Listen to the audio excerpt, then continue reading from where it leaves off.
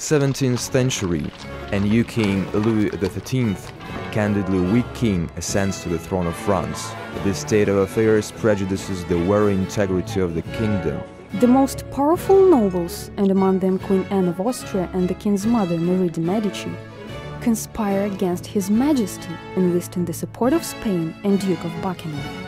The only power which can resist the plotters is a Prime Minister, Cardinal Richelieu.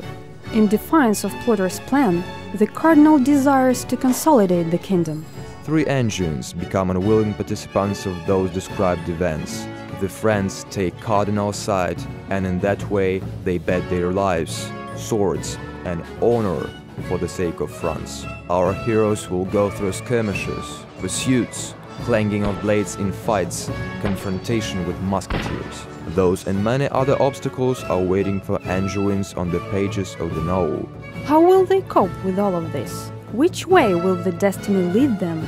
Will they be able to act in the crucial role and prevent the conspiracy, which can radically change the march of history?